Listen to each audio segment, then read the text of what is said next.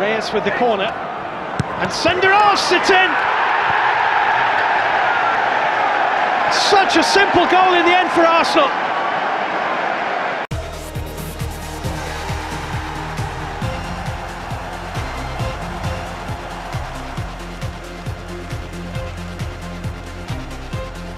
Senderos is in there. Oh, that's a poor touch by Kenwyne Jones. Senderos!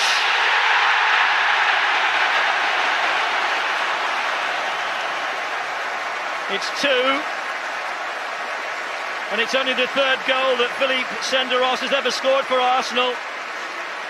And it came about after a poor touch in the penalty area by Kenwyne Jones. They never got it clear from that position. And even falling backwards and with his left foot.